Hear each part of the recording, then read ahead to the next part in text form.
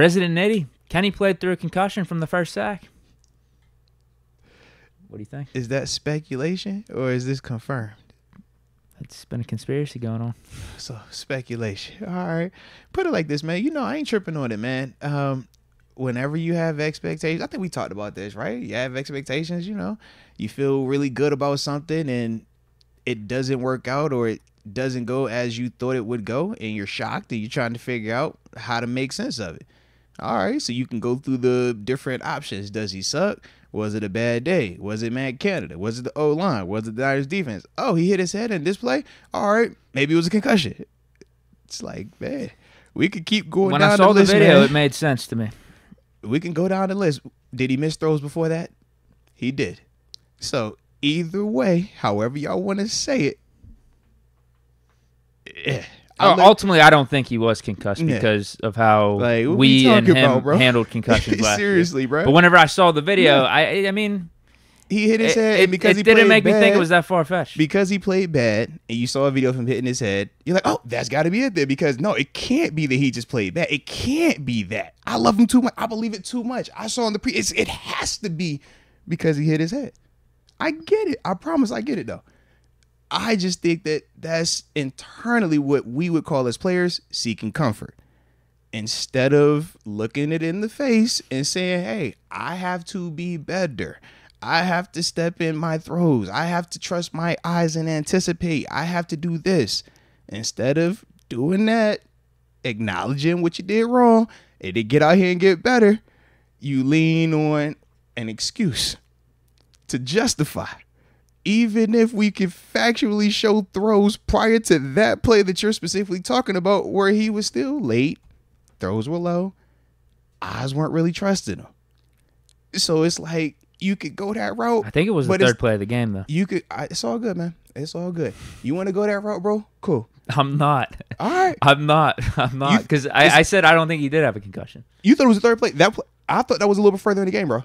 But you gotta be right. Unless it said third. I might, I gotta read read it because it You could said be right, third bro. something. It might. have I think Oh. it was third play. Okay, you might. I, I could double check, but either way, Either way. I'm with you. I don't think it was a Bruh. concussion because of how Kenny handled comfort, concussions bruh. last Yeah. year, and also how the team doctors handle his concussions. and the independent yeah, neurologist. yeah, You they- got they, all were the quick on that. like, bro.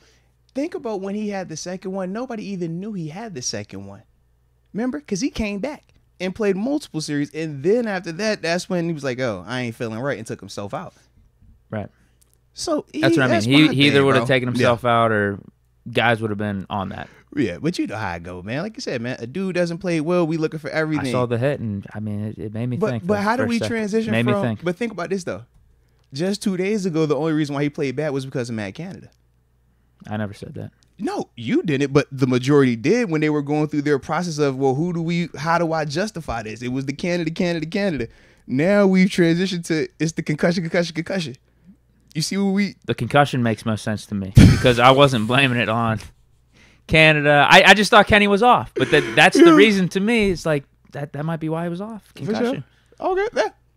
We'll. But again, I don't think it was. I don't. when I first bro. saw the Yeah. video, you get what I'm saying? Yeah, I'm with you, bro. When I first yeah. saw the video, I was like, "Oh wait, that hit actually happened." Okay, Kenny was off. He played that whole Nah. game. It's like, damn. All good, bro. But then I was like, I feel like we would have known more about this, or again, this would have been handled different if it was a legit concussion. Obviously, Hopefully, he's everything is perfect for him on Monday night. Tomlin so we shut can just it see down, him play better, bro. in his press conference. like we would come up with every reason, but just say, bro, he just had a bad day. It was just a bad day. It's not the end of the world, bro. Not, I mean, we get that, but I feel like, man, everybody understands that, though, bro. Today's show is brought to you by DraftKings Sportsbooks. You know, the number one rated sportsbooking app. Not only are they safe, but they are secure and they are reliable. But the beauty is, when we talk about them, we rock with promo codes because we're people for the people. That's what we are. All right. We try to, you know, help y'all help us, help everybody else out. All right. And the way we do that is this when you download the app and you go to make that first deposit, right? Because you're to have to have a little bit of something in your account so you can get a chance to make some money potentially. When you do that, right, you can put at least a minimum of $5 in. But if you add the promo code MOATS, you will also get an additional $200 in free bets to go out there and use and have a little bit more fun as well, man. It's a pretty dope concept, all right? So that's the promo code. You see it right there. Stop wasting time with it as well. But at the same time, Deke, we all ain't got self control. Sometimes you or someone you know has a gambling problem. Maybe they need crisis counseling or even referral services. Well, there's a number and uh, a text number for those specifically living in New York to, to use.